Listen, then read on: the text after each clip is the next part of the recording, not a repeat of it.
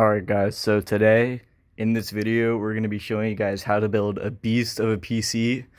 This PC is going to have an Intel i7 17 no 11700K 2 terabytes of Western Digital Arctic Freezer 7X 32 GBs of RAM 10 or 1660 600 watt semi-modular power display an RGB strip, um, and a monitor, and a case.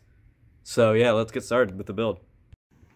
Alright guys, so we just went ahead and built the computer. As you can see, we just finished the build. Looks pretty sweet.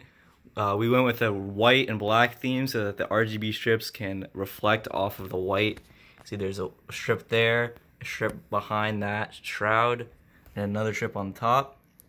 It's got a nice keyboard, K70 I think two 144 hertz monitors, but we don't have a cable for this one, so we're only using one monitor. Uh, let's just show you the specs. So it has a CPU, it has RAM, has an SSD, and it has a GPU. So that's pretty much it. Thanks for watching. Stay tuned for the next video. Peace.